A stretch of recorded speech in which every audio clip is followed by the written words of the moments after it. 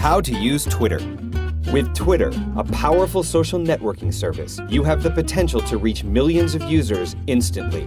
Use it to issue public safety alerts, broadcast real time news developments, inform constituents, or solicit feedback. It's free and easy to use. Here's how to get started. You will need a computer with internet access. Optional, mobile internet access and texting capabilities. Step 1. Create an account. Go to twitter.com and click the green Get Started button to join. Enter your name, username, password, and email address, and you're good to go. Step 2. Decide what you want to say. In general, Twitter messages or tweets answer the question, What are you doing right now? But you can also post a link, express an opinion or reaction, or pose a question. Twitter keeps things short and sweet. Messages can be no longer than 140 characters. Step 3. On the homepage, type your message into the box at the top of the screen and hit Update. Congratulations, you've posted your first tweet. If your tweet is intended for one user in particular, type the at symbol followed by that user's screen name before the text of your message. Step 4. Twitter is a two way street. Now that you've posted your first update, choose people whose updates you want to follow. To search by name, click on Find People in the upper right corner, and then click the Find on Twitter tab. You can follow individuals, like friends and colleagues, and groups, like news services, organizations, and nonprofits. People may be listed under a screen name that doesn't match their real name. Step 5. Once you've found someone you want to hear from on Twitter, click Follow, and you'll receive their updates automatically. People you already know will often reciprocate and start following you too.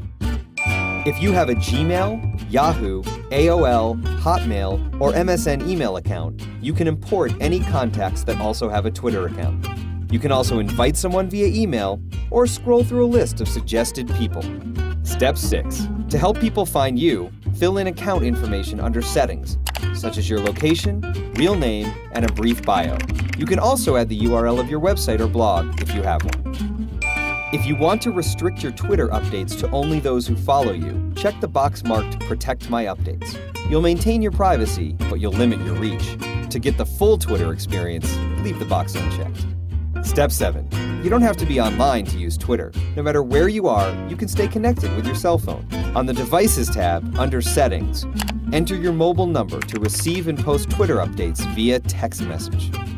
Twitter doesn't charge for text messages, but your wireless provider might. Make sure you know the details of your messaging plan. Step 8. On the Picture and Design tabs, customize how your profile appears to others by uploading photos and choosing background themes.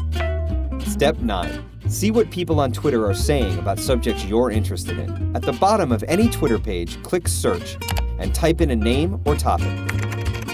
Or, either below the search box or alongside search results, check out what's generating the most buzz by browsing through trending topics. Step 10. You can post updates from the web in the update box, via text message, on your cell phone's web browser using m.twitter.com, or from any third-party application. Apps are available at twitter.com slash downloads. The more updates you post, the more people will follow you. Now get tweeting. Did you know? President Barack Obama announced his selection of Joe Biden as his running mate simultaneously via text message, email, and Twitter.